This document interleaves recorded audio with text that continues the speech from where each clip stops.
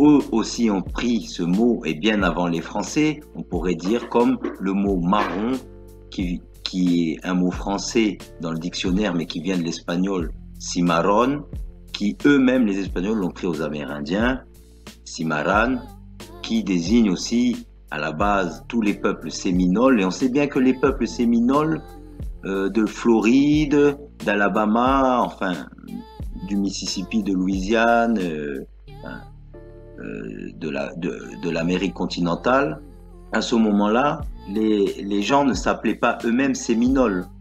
Séminoles, c'est une déformation déjà des Français qui sont arrivés au Mississippi et qui ont déformé le mot séminole, alors que normalement, ce mot, c'est un mot amérindien. Alors, il n'y a pas beaucoup d'indications, mais quand même, on peut constater la noirceur des premiers habitants. Alors, ce sont les Séminoles.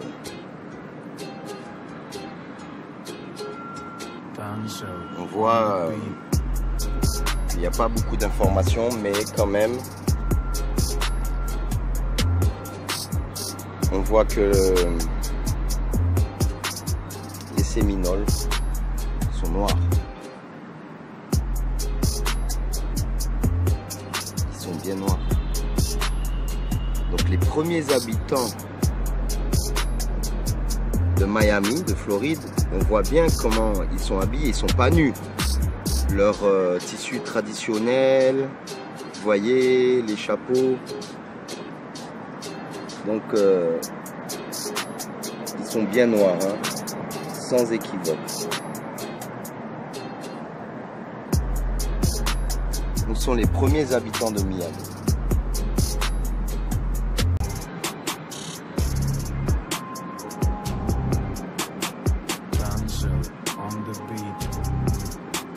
Et on verra que, en plus, Séminole, ça désigne pas vraiment une tribu, mais Séminole, on dit déjà que c'est ceux qui ont fui la nation Creek.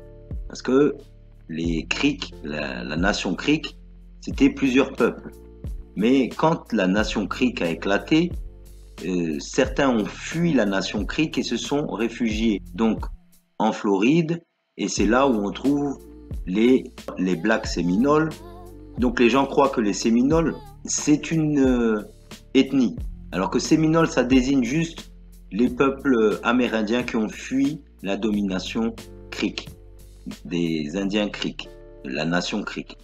Donc on voit qu'il y a un lien avec le mot Cimarran que les Espagnols ont entendu à Hispaniola quand ils ont demandé comment les habitants de l'île s'appelaient. Ils ont entendu Cimarron, c'est devenu maroon et marron dans les langues anglaises et françaises. Georges Frederici cite dans son analyse des sources portugaises un grand nombre d'exemples datant du XVIe siècle et des siècles suivants. Le regretté Jack Forbes avait raison sur le fait que certains Indiens étaient classés dans la catégorie négro et vendus à l'Europe en tant que négro en raison de leurs caractéristiques tropicales et de leur peau foncée.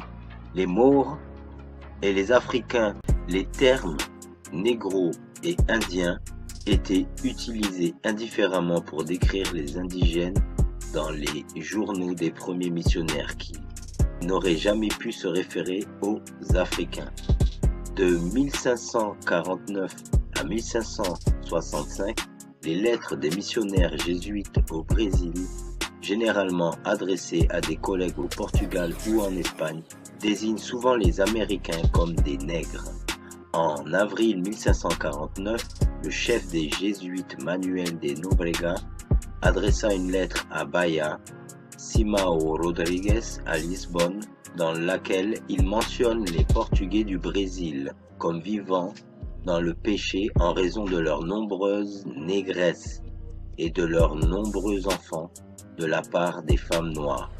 Ainsi, le père jésuite a appelé les femmes américaines vivant avec des hommes portugais le mot negras, terme qui, selon Leite, qui n'aurait pas pu désigner des personnes d'Afrique, car en 1549, il n'y avait que peu ou pas de femmes africaines à Bahia. Néanmoins, nos Brega utilisent le mot indio. Quand les Africains sont mentionnés dans la lettre jésuite, ils sont toujours appelés Negroes of Guinea, Noirs de Guinée, afin de les distinguer des Noirs de la terre même. Les possibilités que les Amérindiens aient été assez communément appelés nègres est largement soutenue par l'usage portugais. Au cours de la période coloniale, les Indiens du Brésil ont été appelés à plusieurs reprises nègres ou negros da terra, c'est-à-dire nègres de la terre. C'est pour ça que euh, lorsque en 1830 on a déplacé les populations euh, du côté du Mississippi, c'est-à-dire que la Californie euh, à ce moment-là n'était pas encore euh, euh, tout à fait euh, colonisé, on va dire, mais il y avait déjà des populations là-bas. Ce qu'il faut savoir, c'est que du côté ouest du Mississippi, c'est là qu'on a envoyé toutes les populations noires, les Cherokees, les Creeks, et tous ceux qui, les Yamasee, les Yuchi, tous, on les a fait bouger. À partir de 1830, euh, soit ils acceptaient de rester et d'appartenir à être citoyens de l'État où ils étaient, soit ils devaient bouger du côté ouest de la rive du Mississippi. Mais bien sûr, euh, aucun traité n'a été respecté, donc euh, ça arrivait, euh, la, euh, la, rue est vers l'or, hein, vous savez, et tous les fermiers euh, noirs qui étaient du coup installés, ben, on a donné leurs terres à des, à des blancs.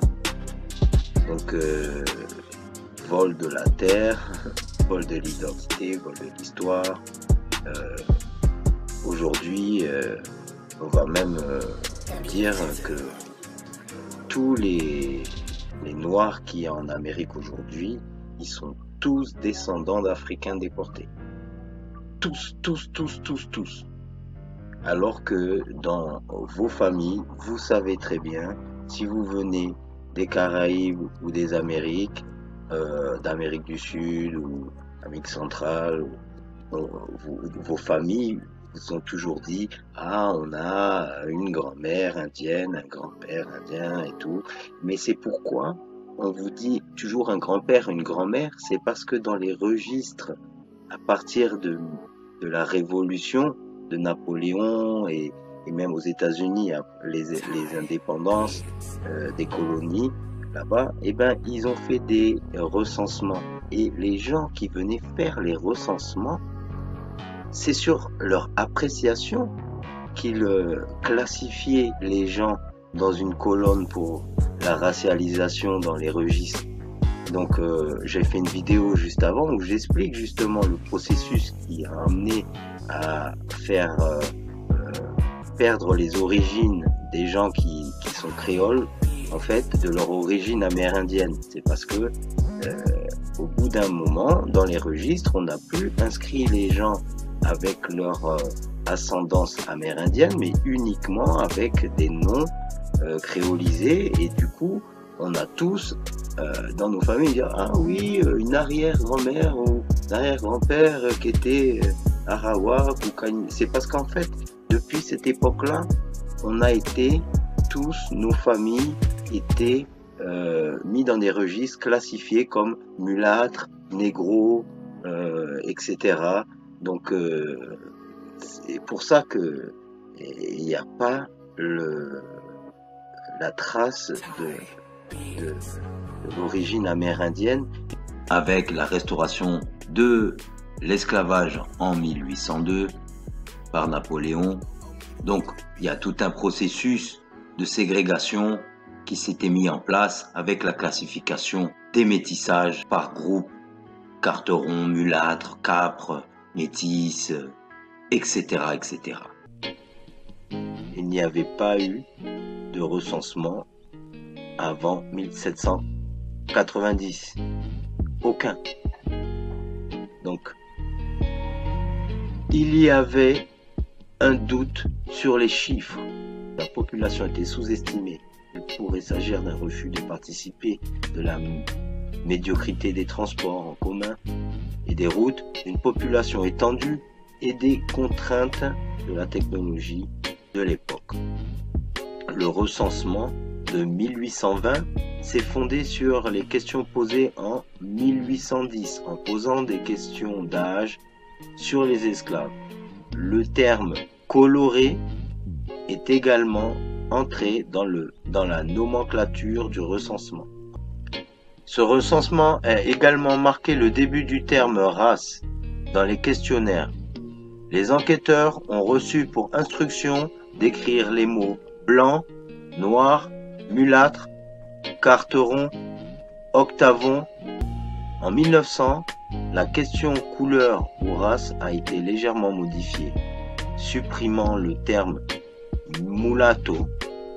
En outre, un calendrier de la population indienne a été inclus, dans lequel les enquêteurs étaient invités à utiliser un questionnaire élargi spécial pour les Indiens d'Amérique vivant dans des réserves ou dans les groupes familiaux hors des réserves. Cette version étendue incluait la question fraction de la lignée d'une personne qui est blanche. Ça fait depuis euh, près de 150 ans, deux siècles que voilà, les registres, la créolisation a fait que nous ne savons pas euh, quelles sont notre euh, affiliation, mais en vrai, il y a des recherches qui peuvent être effectuées généalogiques. Et là si on connaît des pièges, ben, euh, des registres, comment est-ce qu'ils euh, euh, marquaient les, classifications des mulâtres, etc., des, des, créoles, des noirs. Recherche philosophique et, et antique sur l'histoire autochtone de l'Amérique de 1829 par James Haynes McCullough. Bien que l'Amérique possède des hommes bruns foncés qui s'approchent du noir, on a pourtant presque universellement cru qu'il n'y avait pas de noirs ou de nègres autochtones sur ce continent. J'estime plus que probable que l'opinion commune est erronée. Environ 70 ans après ce voyage de Cortés, le voyage de Viscano, décrit par Torquemada, a eu lieu. Le temps apparemment beaucoup trop court pour que des villages nègres aient été construits avec les habitants desquels les autochtones avaient formé des ligues d'amitié, même s'il était prouvé, ce qui n'était pas le cas, que ces personnes avaient été détruites ou laissées à l'époque et appartenaient à cette terre inconnue de l'Amérique située entre les fleuves Columbia et Gila. Les autorités que j'ai pu examiner en ce qui concerne l'apparence nègre actuelle des Indiens dans cette région sont les suivantes. La couleur des Indiens des missions californiennes, vue par la paix rouge, entre guillemets, se rapproche beaucoup de celle des nègres dont les cheveux ne sont pas laineux et ailleurs, la couleur de ces Indiens qui est celui des nègres, fermez les guillemets. Langsdorff qui a visité San Francisco sur la côte californienne, confirme les observations de la Peyrouse, car, dit-il, ouvrez les guillemets, les Indiens sont d'un teint très sombre, approchant du noir. Ils ont de grandes lèvres saillantes et de larges nez plats comme les nègres. En effet, beaucoup de leurs traits ainsi que leur physionomie presque leur couleur ressemble beaucoup aux nègres. Leurs cheveux, cependant, sont longs et droits.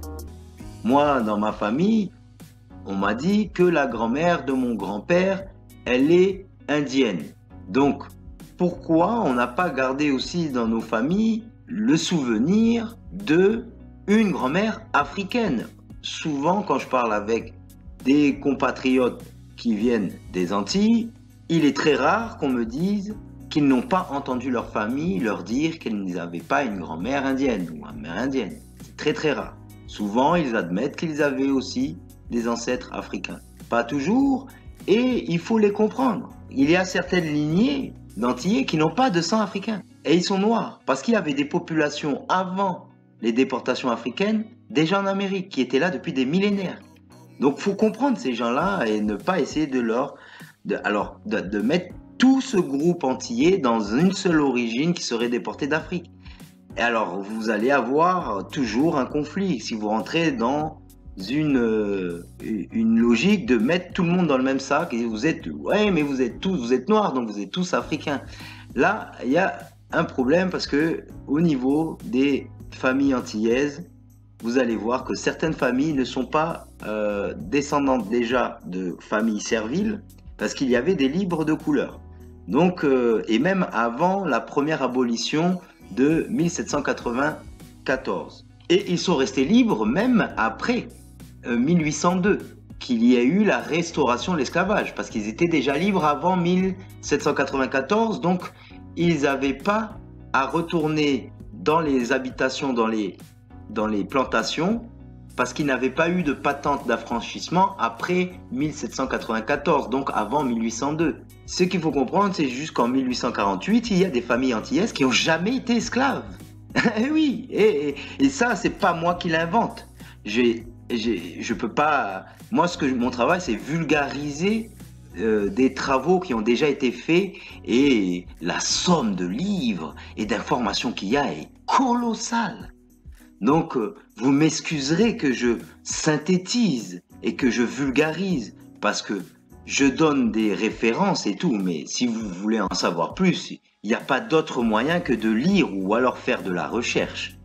Alors, il y a des registres de Grappa Congo que eux sont venus après 1848.